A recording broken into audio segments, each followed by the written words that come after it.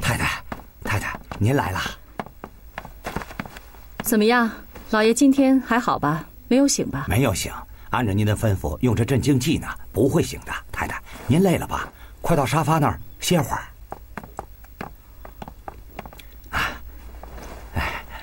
连贵啊，没有人看出什么不对劲吧？没有，曾医生啊，已经搞定了其他的医生和护士，这里只有他来加药，没有别人来。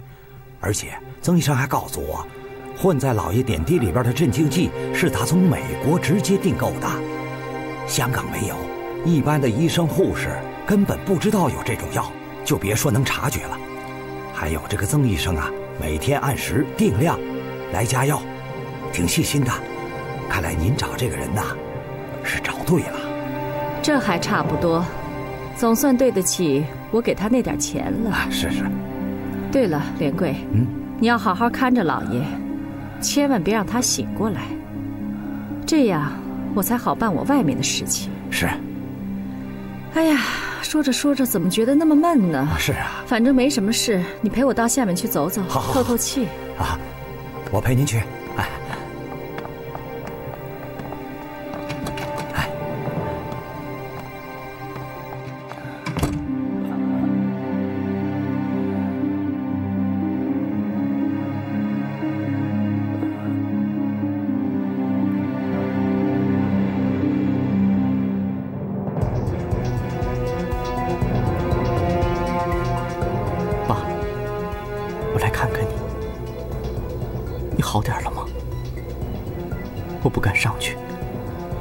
会让我见你，说怕你病情加重。可我总觉得，他有什么事情瞒着我。我了解妈妈，她不是个坏女人，她就是害怕，她太怕你会离开我们，不要我们，就像当年我的亲生父亲那样。可是现在，我越来越不认识妈妈了。这次她让我做的事。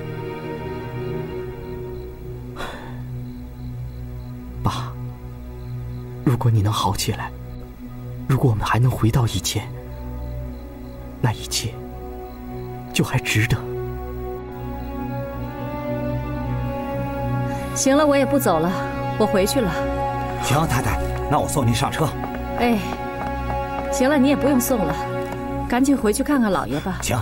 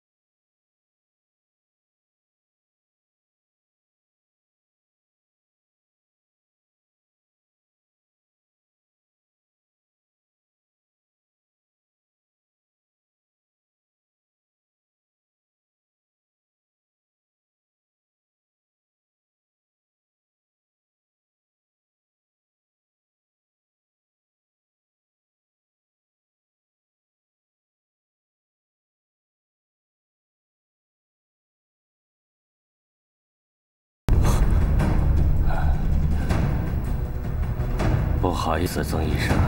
啊，张先生，我太太给你排了这么重的任务，让你每天晚上值夜班，亲自的照顾我。啊，张先生，我是医生，照顾病人是应该的。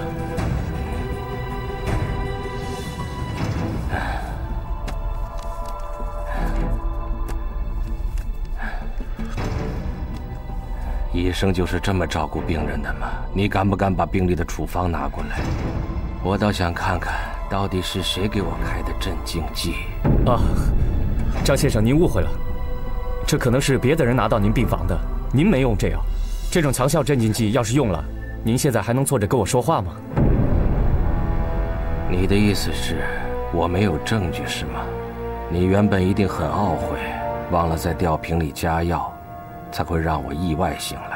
可是你又一想，既然我已经醒来了，那么即便是拿吊瓶里的药液去化验，也查不出什么。对不起，我已经留好了尿样。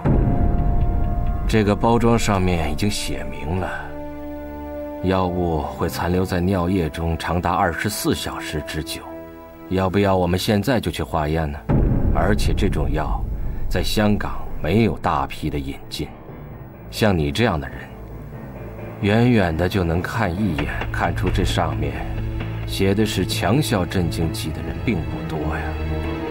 我只要去查一下药厂的销售记录，要查到这个人是谁，该不难吧？张先生，别别别！我承认，是我下药一直让你昏迷不醒，但是，我我跟你无冤无仇，这一切都是，都是张太太吩咐我做的呀。当然当然，我的家务事也不可能完全赖到你头上嘛。但是你身为医生，应该很清楚、很明白这种事的后果有多严重。我只要把这件事情公开以后，你不仅仅是丢掉执照，我还可以告你侵害人身。好好想一想，这件事你想怎么了断？那，你你你想怎么了断？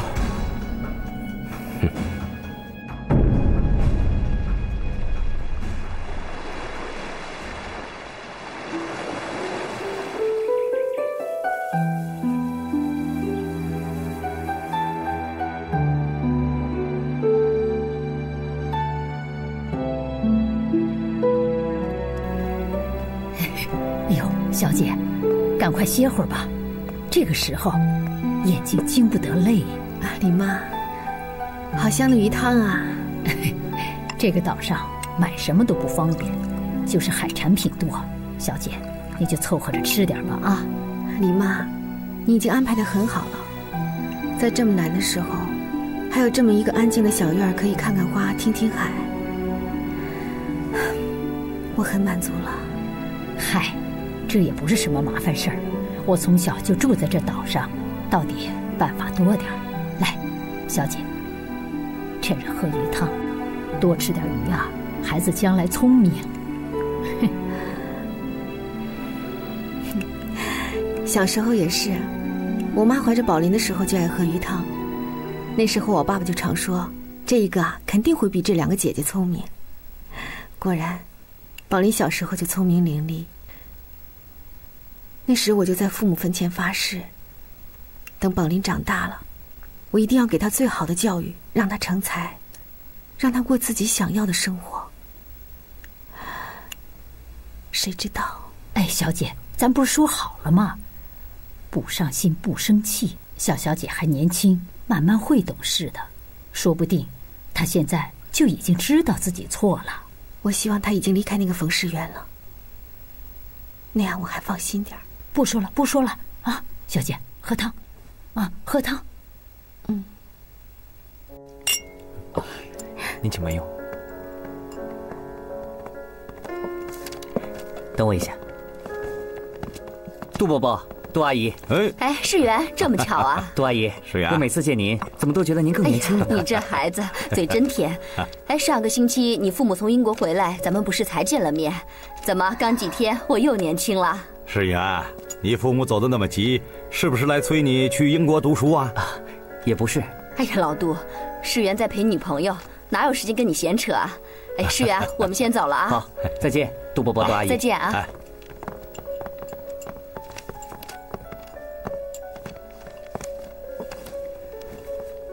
这里的鳕鱼排可是一绝，特别新鲜。世元，为什么你父母上周来你都不告诉我呢？你不是总说想带我去见见他们吗？还说我是他们喜欢的那类儿媳妇儿。上周，上周我们不是已经……那你为什么还不带我去见他们？难道我就这么带不出手吗？宝林，我不是那个意思。你也听到了，我父母这次来的很匆忙，整天忙着见朋友。我是想，我这样把你急急忙忙的拉去见几分钟，对你显得不尊重，也不容易让他们留下最好的第一印象。我保证。下次他们再回香港，我第一个就让他们见你。那你说的。嗯。对了，还有件事，我最近老不回学校过夜，木木好像听到什么风声。世元，既然我们都在一起了，干嘛还要这样躲躲藏藏的？我已经成年了，可以申请不再住校了。我担心我父母会觉得现在就住在一起，还是太早了吧？那我们可以订婚啊！我当然想了，可是我父母说了，英国大学要我好好申请。现在这个节骨眼上，我们要是住在一块儿了，骂我几句倒是不怕，就是怕对你有看法，觉得你不检点、不稳重。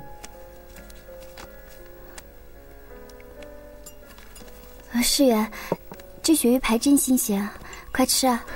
我就说是一绝吧，撒点现磨的胡椒粉会更好吃。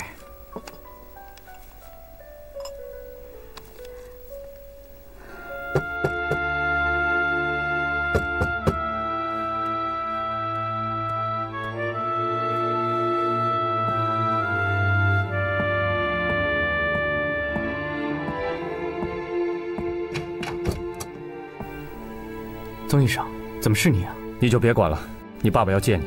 等会儿我会借谈马赛的事情拉连贵去医生办公室，我们一走你就进去，我会给你争取两个小时。怎么搞得像做间谍一样？这到底是怎么回事啊？走吧，我路上跟你解释。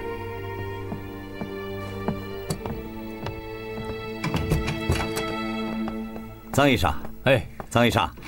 你真的有明天马赛的内部消息？当然有了。哎呦，那可太好了！你可得给我好好说说，千万别让我赔了。我要是赔了，我能忘了老兄你吗？那就好。林贵，我还给你留了好酒啊！等会儿咱俩喝两杯。好，好，好，好，喝两杯，喝两杯。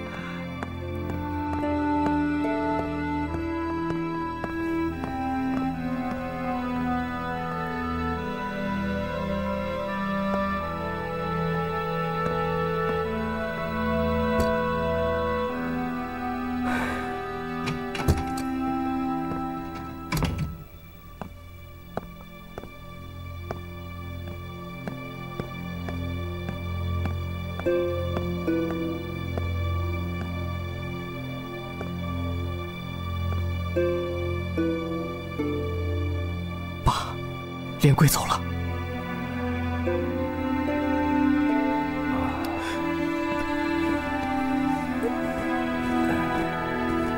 爸，坐。爸，我真没想到，妈会干出这种事，您受苦了。那要是真的昏迷，就不苦了。昨天跟曾医生摊牌以后。今天就在床上躺了一天，装昏迷，这才叫苦呢。不过也亏了在床上躺了一天，有许多事情我想明白了。我相信你和嘉林之间什么都没有，无非是你心疼你妈，被她利用了，才会干出那些荒唐的事。昨天晚上是你守在我窗户下面吧？我知道你想见我，又怕撞见你妈，我知道你心里有多痛苦。爸，对不起。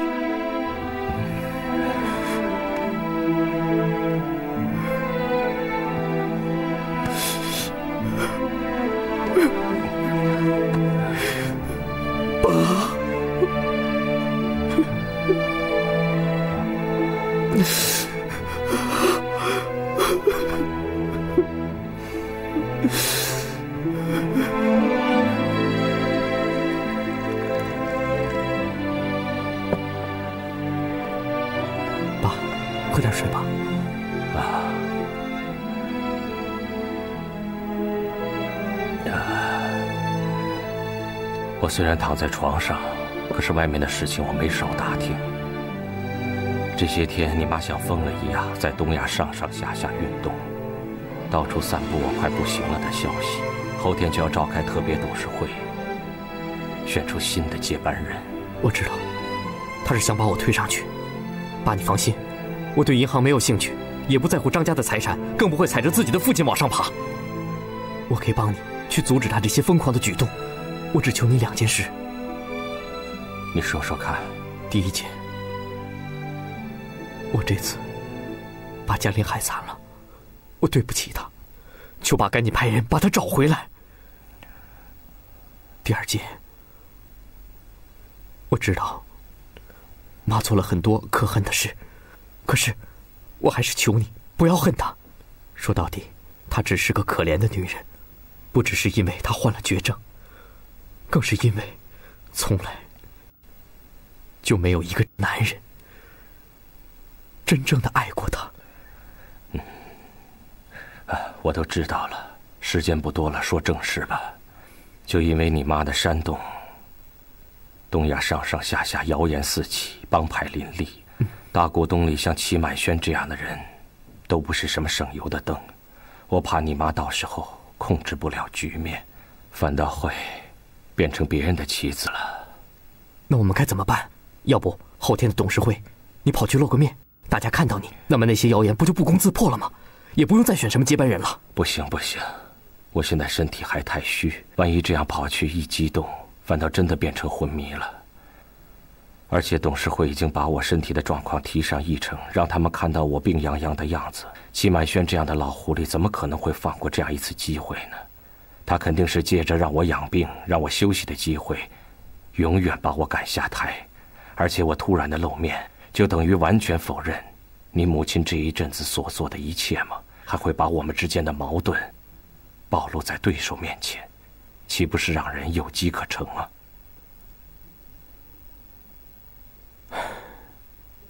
要是嘉林在就好了。此时他应该知道该怎么办。除了嘉林之外，或许只有他可以帮我力挽狂澜了。谁？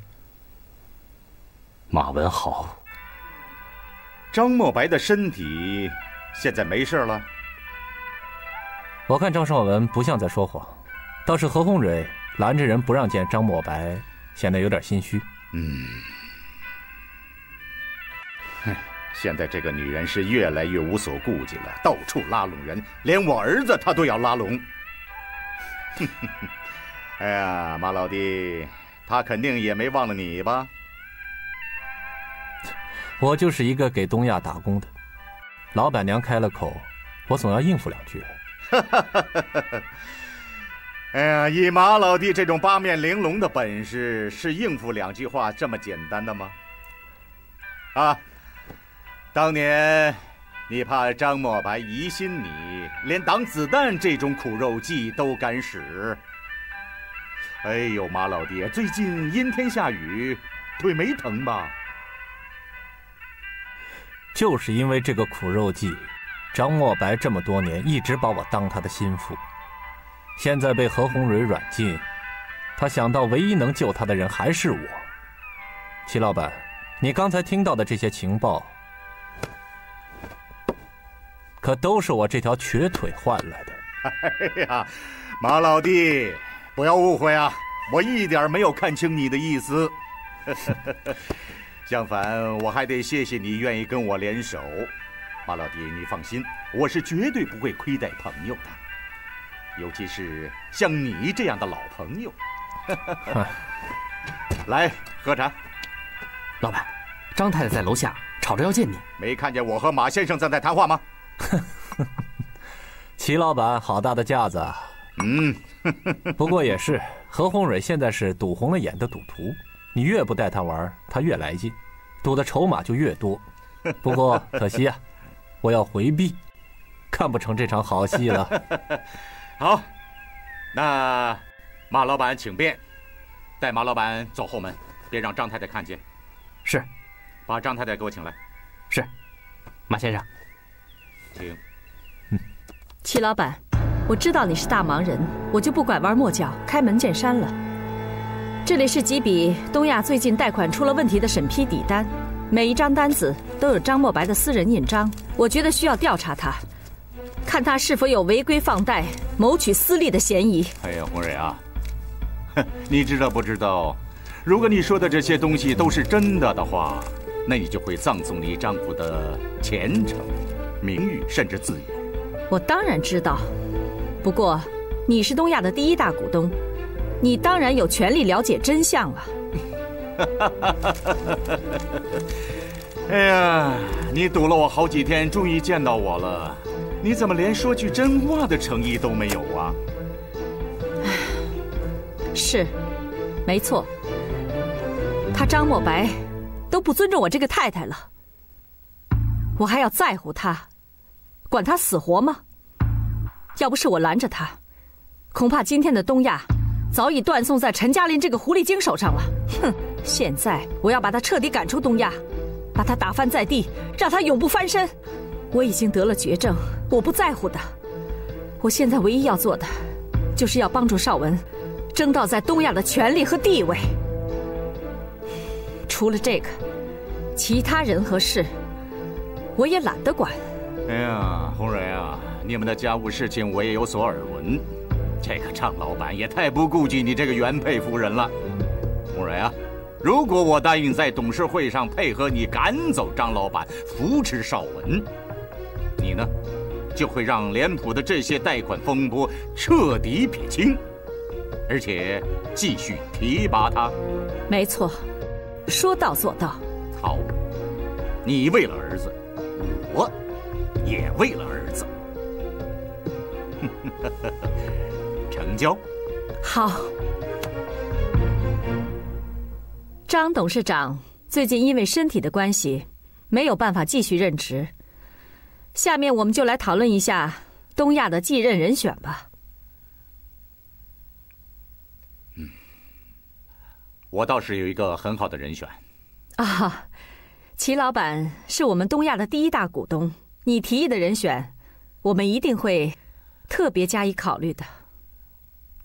我觉得马文豪先生，他熟悉银行的运营，又长期在张老板的左右，深得张老板的信任，我觉得他是最佳的人选。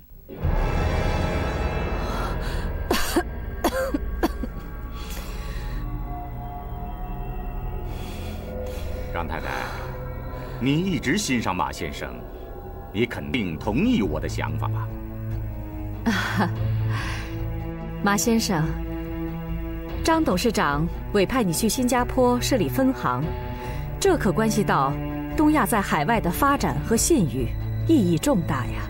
虽然说张董事长现在身体抱恙，可是我相信，马先生一定不会辜负张董事长的一片心意。一定是迫不及待的赶回新加坡吧。感谢齐老板的信任，我深受张董事长栽培，凡事当以东亚的利益为最高利益。既然各位股东觉得我能担此重任，我将不辱使命，欣然接受任命。好，这才是大丈夫风度，挽狂澜于既倒。我没有看错马先生，大家觉得呢？嗯，那就是马先生了。好，那就是马先生了。恭喜！我们赞成。就是李主任，麻烦你起草文件。好的。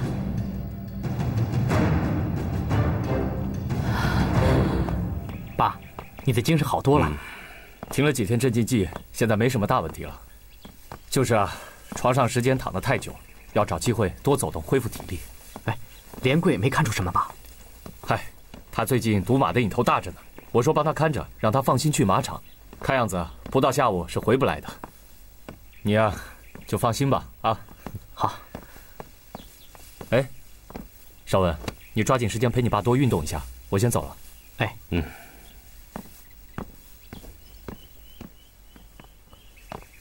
嘉林有消息了吗？还没有。爸，你别着急，我等会儿去找他表哥林督察帮忙，会有办法的。嗯。慢点。这件事你要记住，千万瞒着你妈。我不想她再生什么事。妈恐怕没这个心思了。今天开完董事会，她回到家脸色惨白。后来我按照你的指示去找了关律师，才搞明白是怎么回事。对了，我把你的情况告诉关律师了，他有没有给你打电话？打了。要不是他告诉我，我还真不知道会上出了这么多事。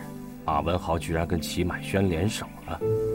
你妈是偷鸡不成蚀把米，我早就跟她说过，她这么折腾下去，肯定会是这个下场。对不起，爸，我什么忙也没有帮上。算了，少恩，尽人事，听天命。你妈今天肯定受了很大的打击，你还是去看看她吧，多劝劝她，让她什么事都别往心里去。哎呦，您请。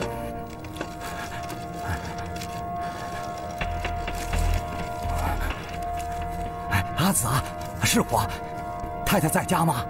在休息，在休息也得让太太听电话。你跟她说，医院这边出事儿了，快点啊！哎呦，哎呀，我说连贵呀，我跟你说过多少遍了，什么情况？你跟曾医生说不就完了吗？你打来吵我干嘛呀？我刚刚才睡着。太太，不是啊，不是老爷病重啊，是老爷他醒了，而且应该是早就醒了。你说什么？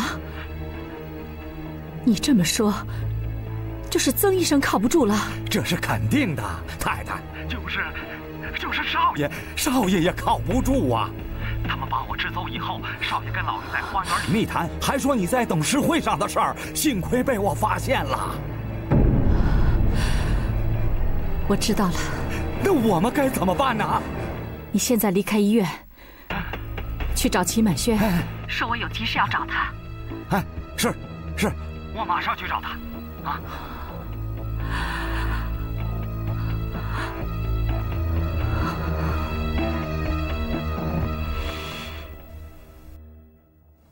看来这么多年，齐满轩对东亚一直没有死心。但是我搞不明白的是，东亚如今势头正健，率先在海外设立了分行。他如今搞这么大的人事变动，难道就不怕动摇军心吗？再说了，他抽走了马文豪，那么新加坡的分行谁来管？张先生，这我也不明白。如果他是为了钱，齐满轩早就是东亚的大股东了，而且每次分红也不少拿。他旗下的船行和银行规模都不小，这些钱足够他用的。我真搞不懂，他这么费劲在东亚争权夺势，到底是为了什么？难道他有什么事只能在东亚做？而且他自己旗下的银行都做不了。关律师，你帮我查一查。齐满轩跟马文豪之间，除了东亚的业务之外，还有什么来往？好的。哎，张先生，您上次让我查的事情已经有结果了，找到我大哥的儿子了。怎么说呢？其实他一直在香港，这是资料，你自己看吧。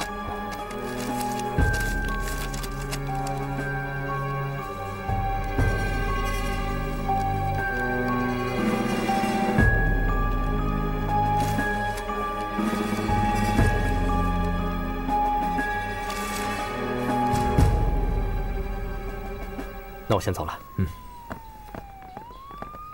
嗯。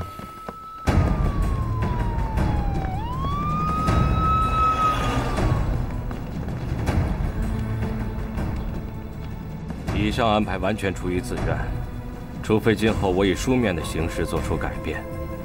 以上的安排长期有效。关律师，你看这样可以吗？我看没什么问题，你再看一眼，如果没什么事的话，在上面签个字就可以了。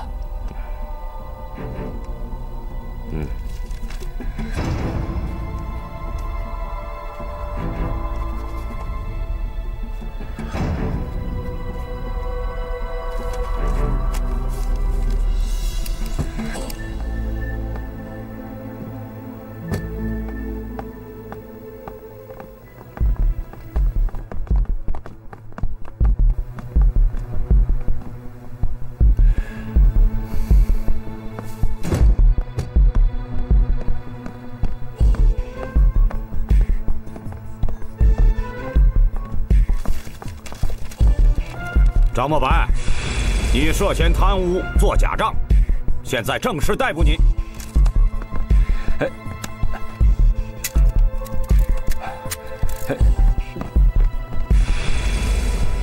哼，张老板，真没想到我们这么快又见面了。哼，一别这么多年，我还真挺想你的。哼哼哼想我的钱？哼，上次冤枉我杀人，这次又用什么名堂来敲诈我？嗯，姓张的，你狂什么？你也不看看这是什么地方？上次让你溜了，这次可没那么容易。你好好给我看看，这些出了问题的贷款是不是都是你批的？这下看看你还有什么话要说？这是我们东亚内部的文件，怎么会在你手里？你不会说我想诬陷你吧？这些都是东亚股东主动提交的证据，说吧。这些所谓破产而无法偿还的贷款，是不是根本就是你做的一个局？你一手从东亚批出贷款，而另一手虚设几家皮包公司，卷了钱就走人。你简直把东亚的金库当成自家的提款机。我没说错吧？你说呀。如果猜的没错的话，那位主动检举我的股东就是齐满轩吧？哼 他跟你的交情这么深，你让我说什么好呢？还好，香港是一个法治社会。我要见我的律师，跟我太太。张慕白，你别太狂了。如果这次我不把你送进监狱，我吕若在香港警界这二十几年就算白混了。我劝你识相一点，还是赶快认罪的好，省得活受罪。别以为我没办法让你开口。怎么，想对我用刑啊？这是你的地盘，随便你。但是我必须要提醒你，我刚刚犯过心脏病，住过院。只要一受刺激就会复发。像我这样的太平绅士，若是在你吕探长的审讯室里出了什么意外，我想英国人那边也不好交代吧。敬酒不吃吃罚酒，那么咱们走着瞧。哼。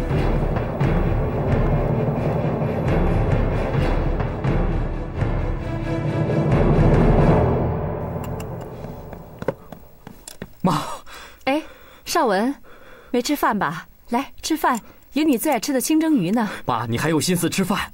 你知道吗？爸被捕了。我以为什么事情慌慌张张的，我知道了。那饭总得吃吧？你知道了还不想办法救他？爸身体不好，他折腾不起呀。哼，是吗？我没觉得他身体不好，我觉得他挺好的。他好的都能在花园里跟人家商量。怎么密谋着防着我呢？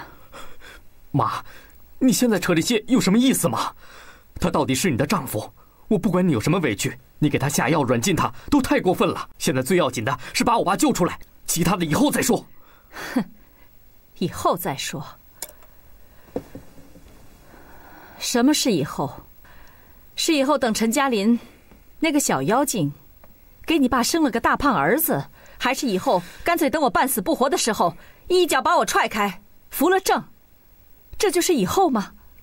在这个家还有以后吗？妈，我，哎，可你总不能看着爸落在吕洛手里吧？你也知道他，他和齐满轩是一伙的，肯定要把爸往死里整，就像上次诬陷爸杀人一样。这次不一样，一切都在我掌控之中。你的掌控？妈，你别告诉我。爸被抓是你捣的鬼！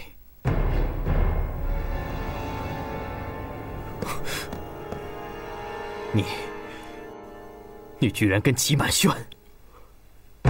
你这是把爸往火坑里推，你知道吗？你怎么下得了这种狠手？邵文，你怎么到这种时候还不知道妈妈的一片苦心呢？我做的这一切还不都是为了你？妈妈已经是患了不治之症的人，我什么都无所谓了。可是我唯一的心愿，就是在临死之前帮助你，得到所有你应该拥有的一切，你明白吗？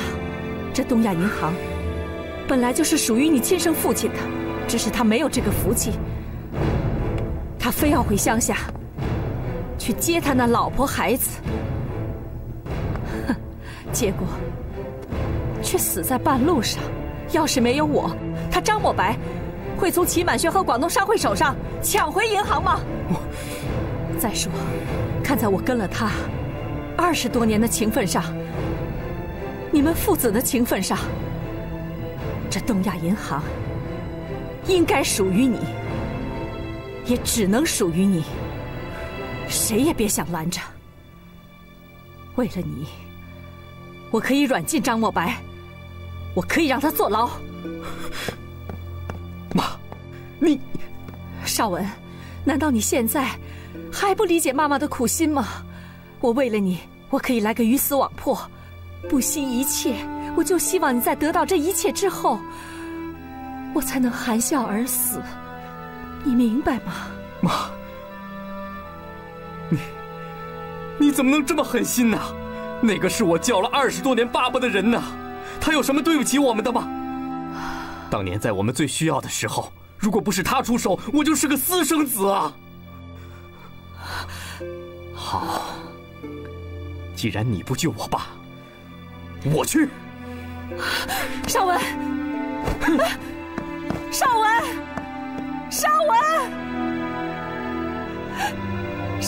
文，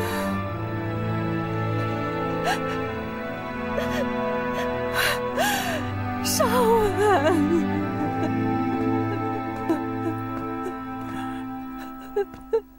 太太，警察局来电话说老爷要见你。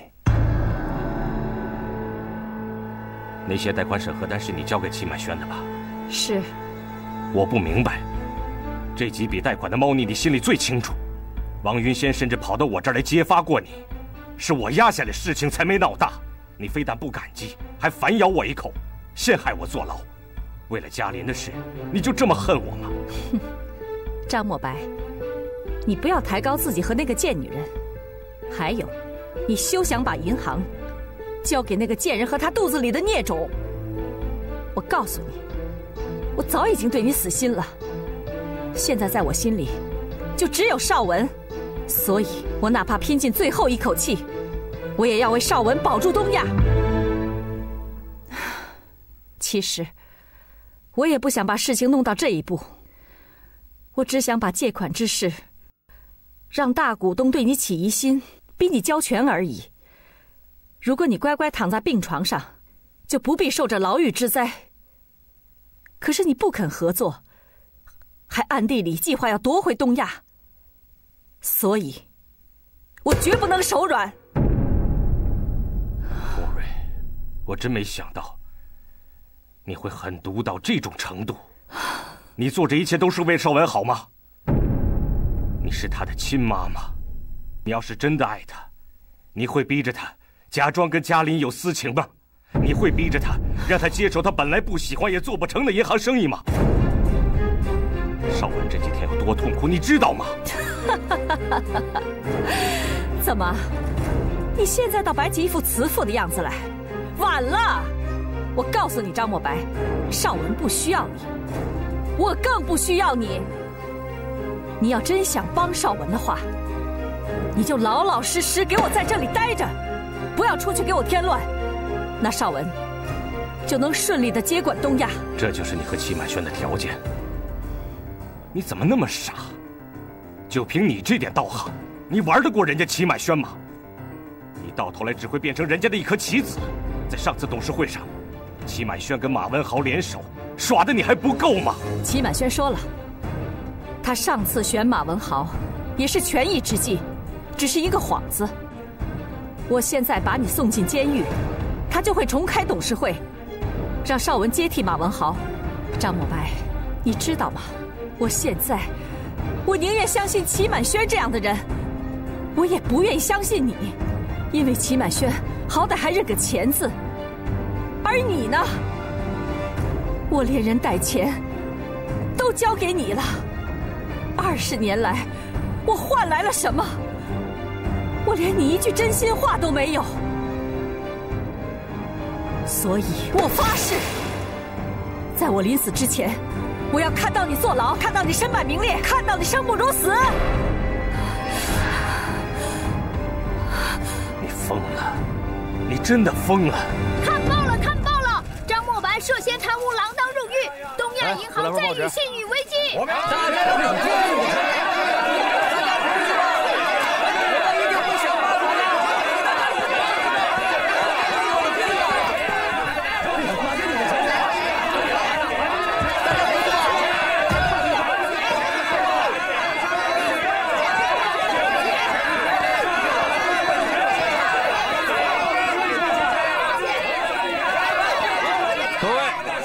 请大家放心，东亚银行运营正常，资金充足，绝对没有问题。马先生是张董事长的得力助手，那么他这次被抓，到底是多严重的问题？能透露一下吗？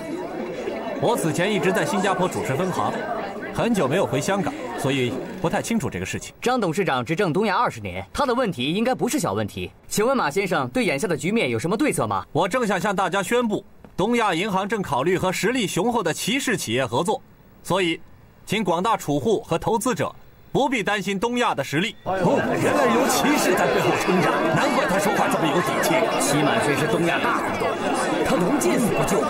是是，大家回去吧，啊，大家回去吧，对，很快就会有结果的，大家回去吧。回去吧。齐老板，我说过，这点小事不用怕，你看，这不就摆平了吗？你刚才把齐氏企业搬出来救火，是不是太心急了点你就不怕刺激到张墨白？不是有吕探长在里面照顾他吗？这回，他张墨白还想出得来？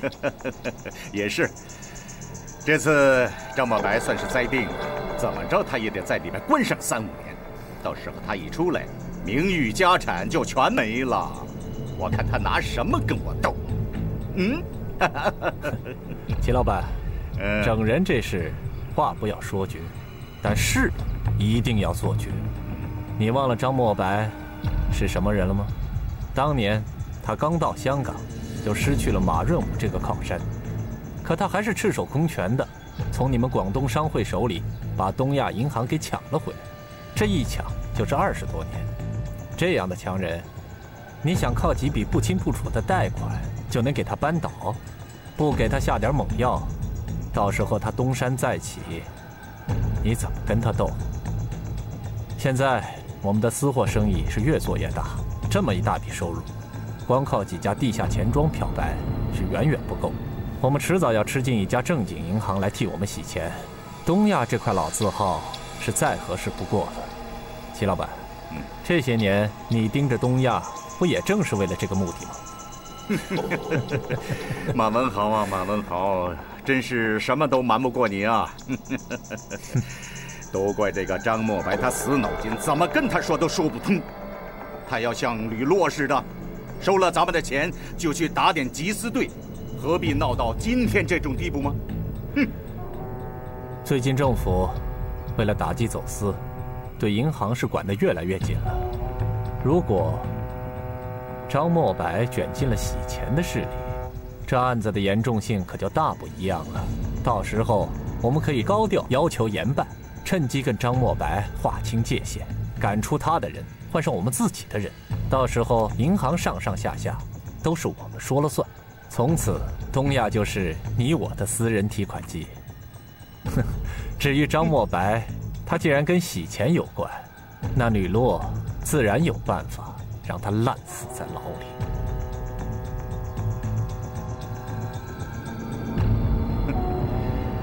马文豪，看来你这条腿的仇是一直没有忘啊。他张墨白欠我的，可远不止这条腿。好吧，我去找李洛，到时候把你的整个计划告诉他。